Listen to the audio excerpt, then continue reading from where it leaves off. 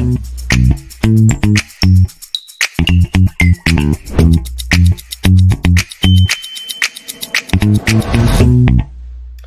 everybody, welcome back to HPC Tech Shorts, uh, the engineering water cooler in AWS. This is episode four in our series of uh, of shows where we're helping you understand how to migrate your workloads from SGE to Slurm, uh, most likely on AWS Parallel Cluster, but uh, these are generic. These are generic classes that you could be using for for doing these things.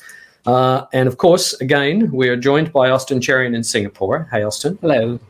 Hey, and Nick Ihli in Utah. Nick is the director for cloud uh, at SchedMD, who are the who are the folks who build, maintain, and uh, and created uh, Slurm.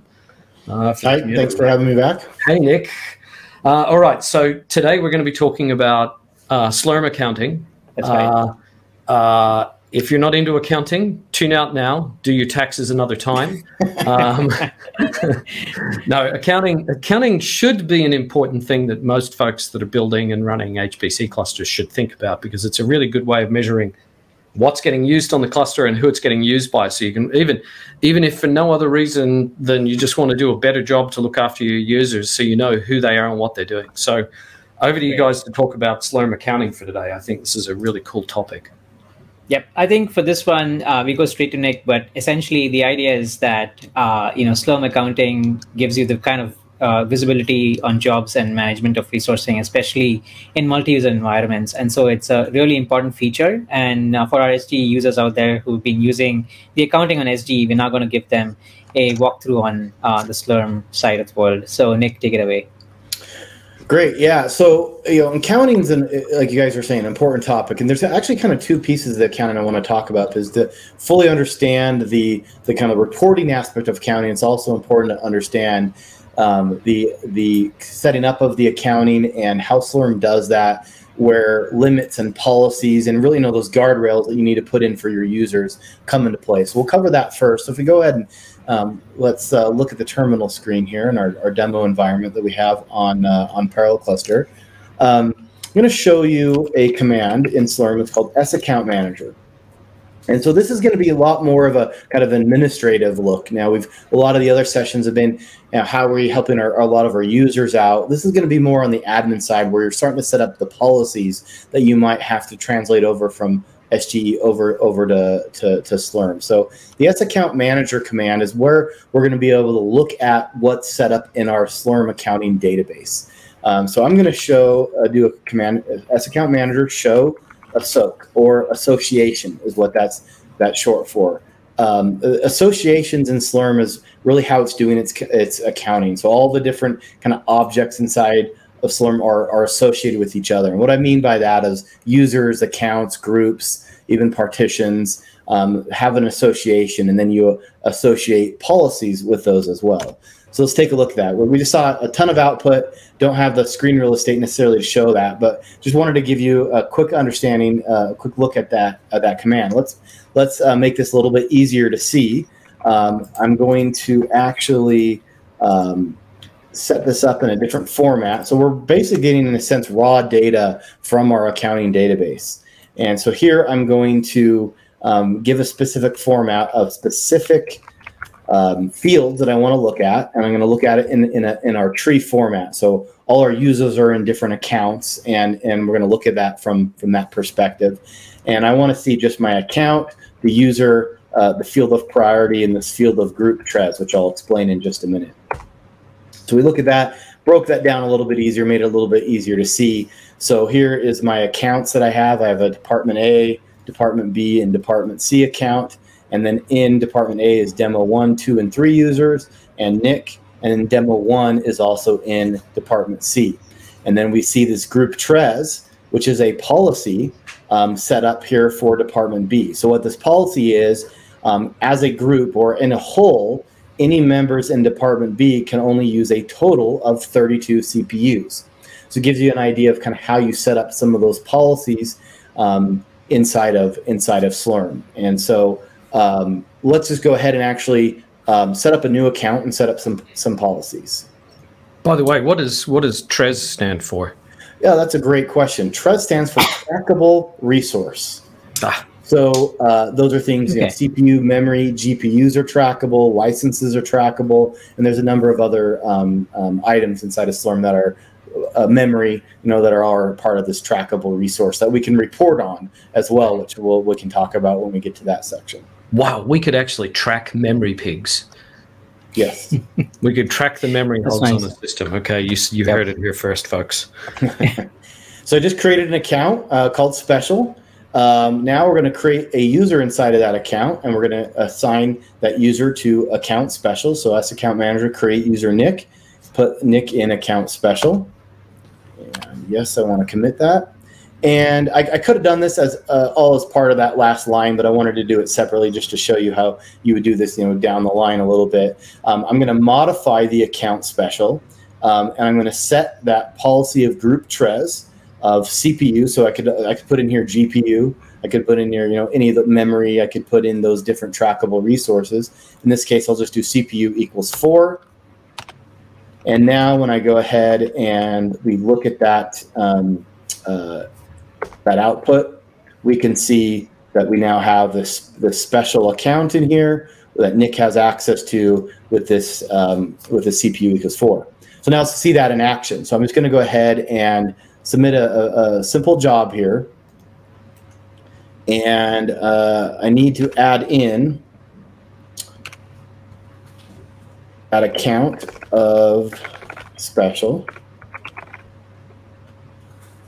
and uh, it's just going to be a, this dash dash wrap. I, have shown this a few times in these sections. This is where I can just pass in information that would be normally you know part of my my job script of um, the actual um, job that I'm running. Okay.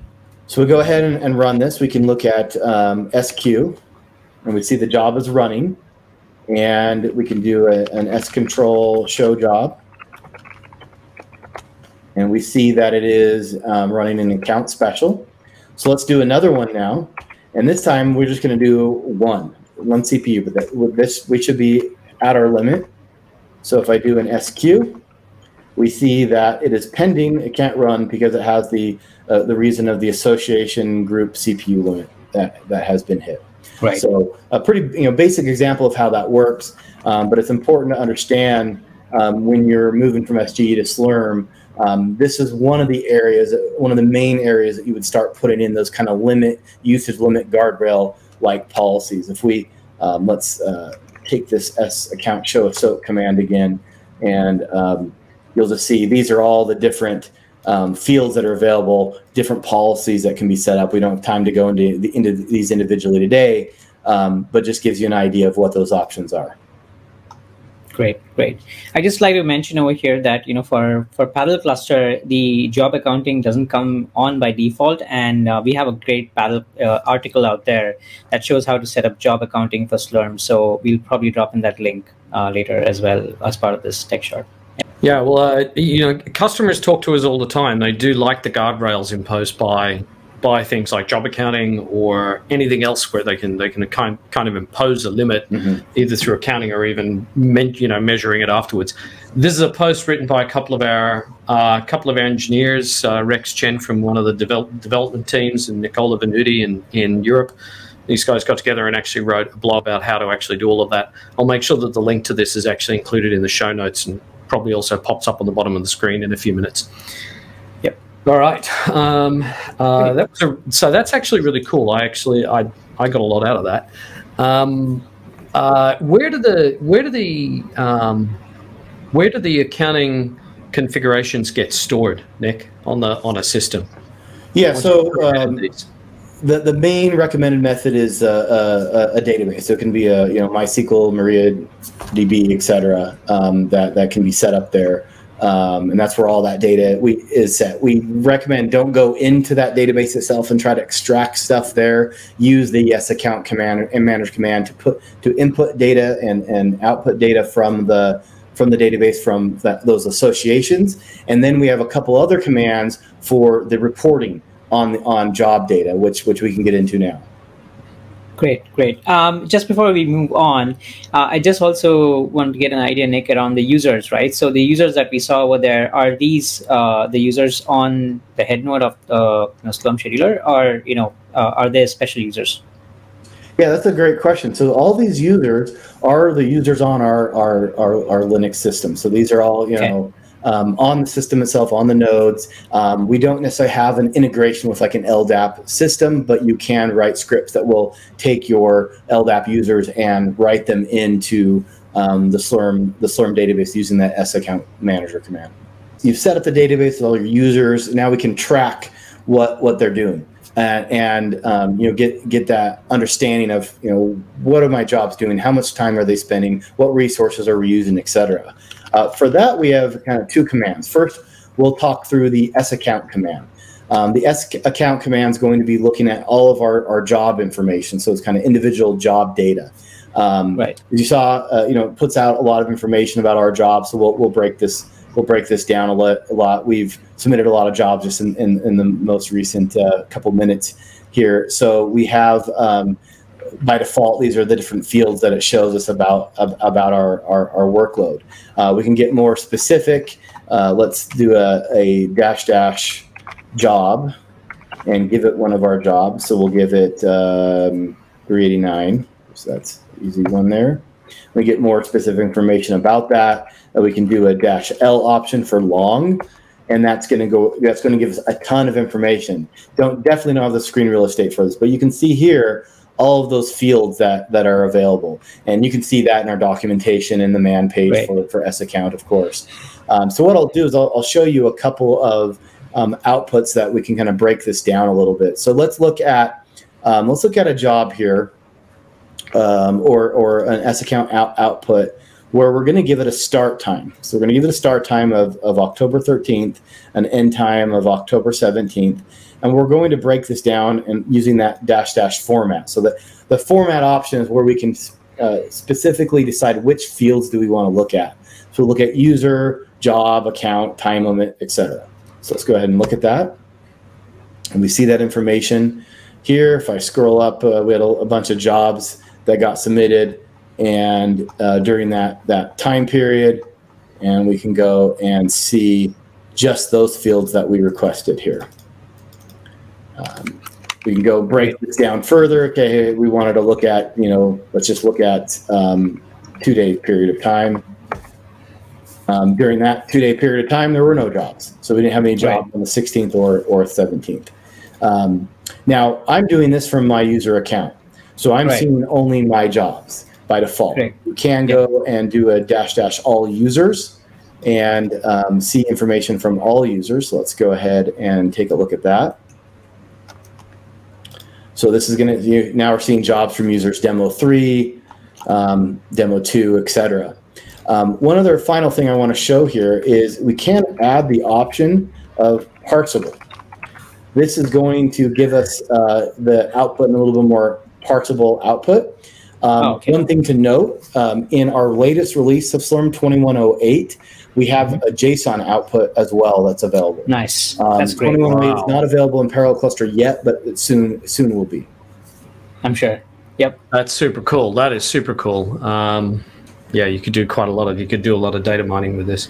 Yeah, there's there's yep. a number of projects out there that sites take this data and then they you know parse it and and then put it in a visual form. There's a lot of different tools out there that, that sites sites use and and um, can give you that that visual um, display of, of all this data. So let me show you one other command that we have, um, which is uh, report. So S report is more of the wrap up type of data. So we want to get a summary of what's going on in the, in the environment for those kind of roll up reports. Um, so if I'm going to do a, there's kind of four types. Uh, there's your cluster reports, job reports, reservation reports, and and user reports. So I'll just show, and, and each one of those has a, a, couple of different options. So let me just show a, a couple of um, um, of these reports. So here is a cluster utilization report. Um, right now, you know, uh, in the last, uh, this is from uh, uh yesterday we have uh, 59 minutes that have been used of our total potential of you know 230,000 minutes. So um, we haven't been using much much of the system. We can uh, change the time period if we want with the the start option. Um, here we're going to start look at this from the 13th. So this is going to give us the 13th through end of yesterday. Um, here we had um, 269 CPU minutes that were allocated. We had some that were down, where the system was down, um, and then this many that were were idle. Um, we can look at job reports. So let, let's look at a job report here. And we're going to do this, um, look at it by account, size by account. And we're looking at department A. And um, instead of looking at CPU minutes, we're looking at the print job account. So we're going to see how many jobs of this size for department A were were, were ran. Yes, I guess. Yep. So maybe I we gotta can. say, that was freaking cool. Yeah, um, that's actually pretty cool. Yeah.